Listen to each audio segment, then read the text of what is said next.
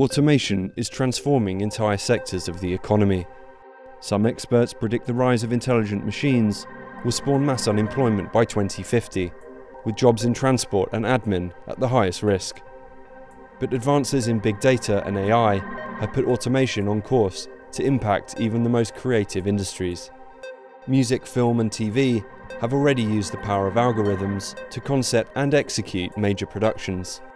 And there are fears in advertising that automation may threaten pillars of the trade, like copywriting, design, and creative direction. However, some in Adland have faced up to AI and invested in its creative potential. This documentary takes a look at the pioneers embracing the automation of creativity.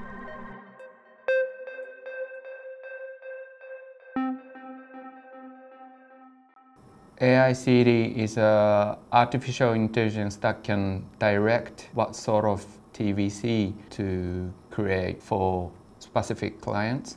It's designed to input the creative brief and on the desktop we can type in the creative brief like your industry and your communication goal and your claim. It's based on a thousand TV commercial database. Once you submit um, the algorithm and the database will come up with the uh, best direction for that specific um, creative brief. The first account AICD work is Correct Mintab, which is for Mondelez Japan. We are working on Clorets's project and we have received new brief. Today we are going to put new creative brief to the AICD and see what what's, what he says and we're going to present it to the client later on.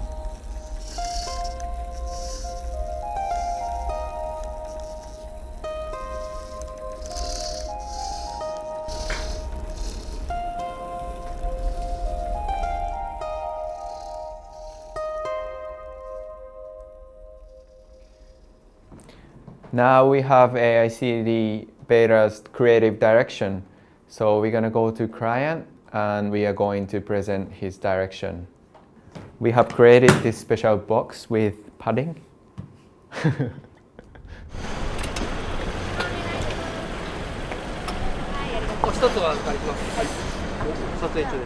we want to treat AICD as if it's like normal creative director and it's important to have a creative director be in the meeting um, internally and externally. Oh, for, 失礼します。すいません、遅くなっちゃいました。すいません。そしてこんな感じでそのままフィルミングをしている。え、もうですか？はい。早いですね。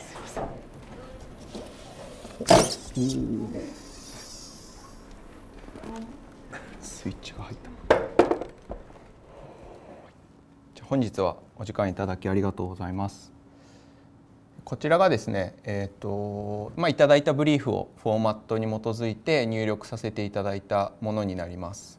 これをベースに、えー、AICD ベータに入力して、えー、出てきた結果が、えー、こちらになります。野生を歌物で都会的なトーンで浄化を印象づけて解放を感じさせろい。かがですかね？そうですね。えっ、ー、と正直あの想像以上に、えー、芯をつくディレクションだと思いました、まあ、ただちょっと言葉はあの抽象的な部分もあるかなとは、まあ、思ったんですけれども、えーとまあ、製品の、まあ、良さだったりっていうのを、えー、非常にこうユニークに伝えられるのではないかなと思っているのであの CM 楽しみにしています。いつも通りタイトなので急ぎながらはいやっていきたいと思います。じゃちょっと細かいことはまたメールでご連絡させていただきますので、はい、よろしくお願いします。よろしくお願いします。はい、ありがとうございました。ありがとうございます。Um, yeah, it went really well. Um, she really likes it. She said that direction was more than she expected. So, yeah, pretty good. We're gonna create the storyboard and yeah, we're gonna present it again And film shooting and editing.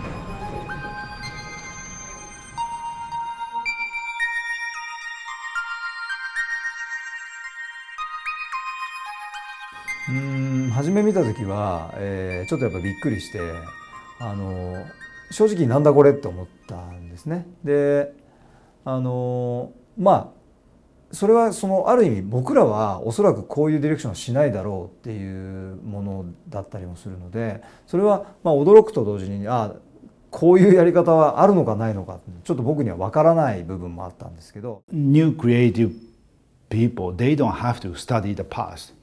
They no need because there's an AI. So if you put okay something the the, the keyword, the AI CD can re reply. So the the knowledge is replaced by AI, but creativity cannot be replaced by AI because AI is they are coming from the past.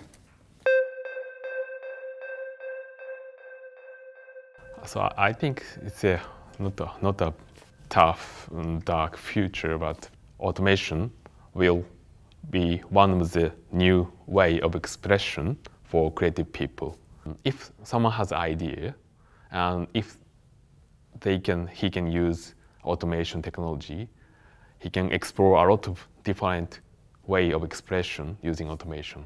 Data and algorithms and AI is not just an idea vending machine.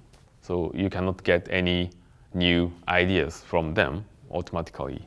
It's like a new tool, like a pencil or um, paper, something like that.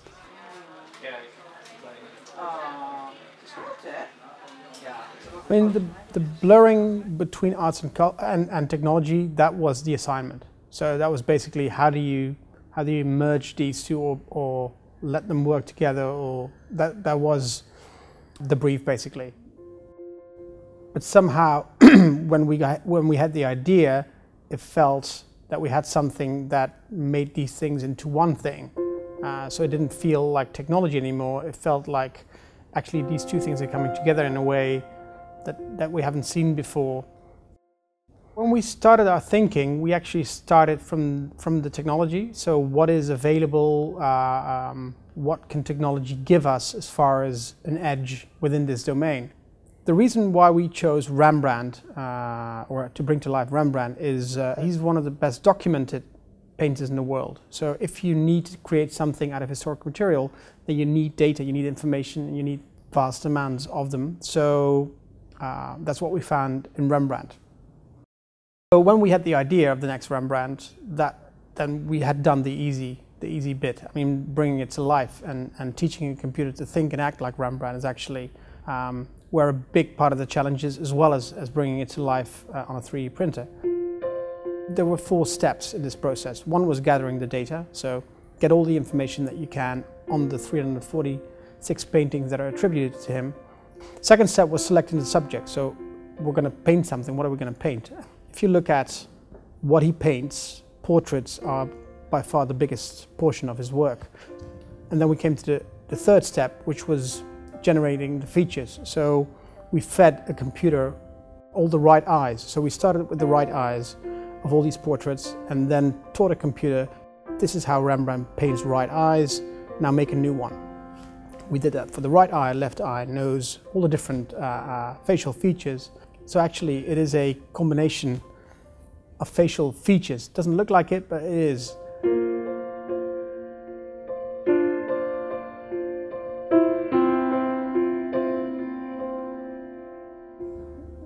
Teaching the algorithms how to think and act like Rembrandt was actually much like a father teaching his kid how to ride a bike.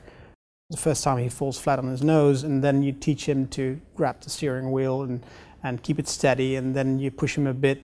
And we would also go in the wrong direction and then be uh, redirected by the experts. What was interesting about that was that, that it would render overnight. So we would come in in the morning and just see the, the, the, the fruits of, of its labor um, and see facial hair appear and, and see wrinkles appear. So that was, that was actually quite interesting, but we've also had some difficult mornings as well. And the fourth step was actually bringing it to life. So then you have your 2D image, but how do you apply height in the way that Rembrandt would? So how would you, how do you recreate brushstrokes? And we actually used high resolution 3D scans from the Technical University of Delft to recreate these brushstrokes by using X-ray scans of paintings to uh, teach a computer how to apply height and where to apply height, uh, like Rembrandt would, and then just print it. You could think about uh, the limitations that we that we are aware of now that we weren't aware of, but I'd like to think about the endless possibilities that it brings us and the limitations that it takes away in our thinking because to me it's about the inspiration that it brings that, that basically anything is possible much more so than the limitations that they, they were all overcome so there are no limitations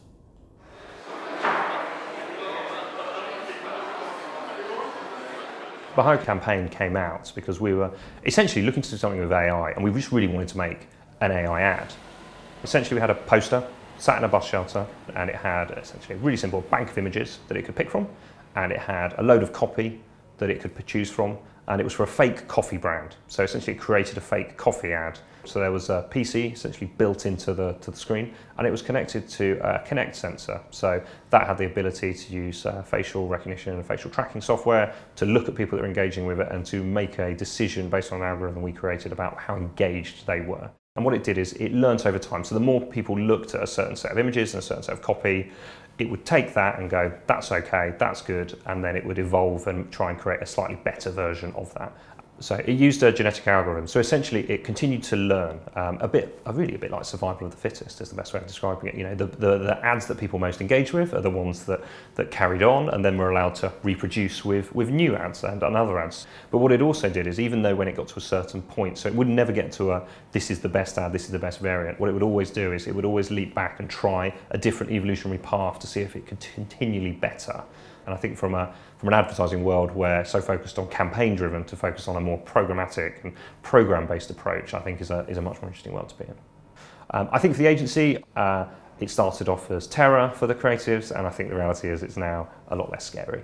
But what they did realise, and we thought this was fascinating, what they did really tack onto was that actually, could it potentially automate some of the uh, arguably more mundane tasks of you know an enlarged scope of work and multiple channels to, to run an idea off. And so some of the creatives have been really interested in how can we develop it. So once they've got a big idea, how do you spit that out over lots and lots of channels so that we can then take those ideas to clients much faster than we might have been able to do and much cheaper and produce them. Maybe there's some there's still some fear coming out of science fiction movies about uh, ideas of what could happen in the future. I think in reality we're, we're less and less inclined to think about the future future and more inclined to think about tomorrow or next week or because stuff is happening so fast. So we've seen programmatic becoming pervasive across all of uh, the different businesses. Creativity is um, having to catch up and this is where AI is really, really focusing now with any new technological sort of change, the first thing people think about is themselves. They think about the impact it's going to have on them. And it's no different in the creative industry as it, as it was in the media industry. Automation might replace some kind of jobs, some kind of people, but it means that we can do other things more. And I believe there are many things we can do, only people can do. A part of creativity which is not automated is, uh, I believe, emotion. We as humans, we can pick up by free will the pattern that we want to make a variation from, right? So association has a broader sense.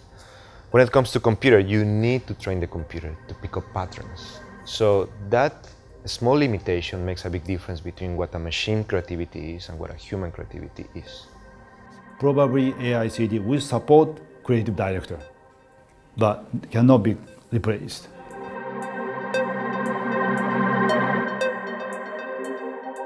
Now, as we're moving into the sort of the creative era of programmatic, we should see creative directors, data technologists, and the machine working hand in hand together to really start making a difference. And that's when the new era of creativity is going to come in.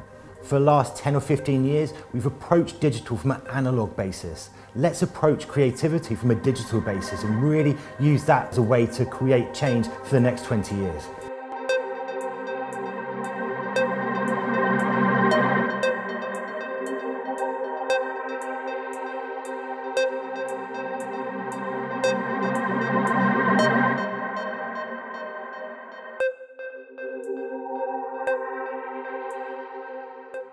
What does it do to someone when you're you're 15 years old and almost anything you can do, you can get a positive response to. Should I enjoy my time in, you know, in real life in person right now and then take a picture after? Or should I take a picture and send it to 100,000 of my followers so we can all enjoy this together?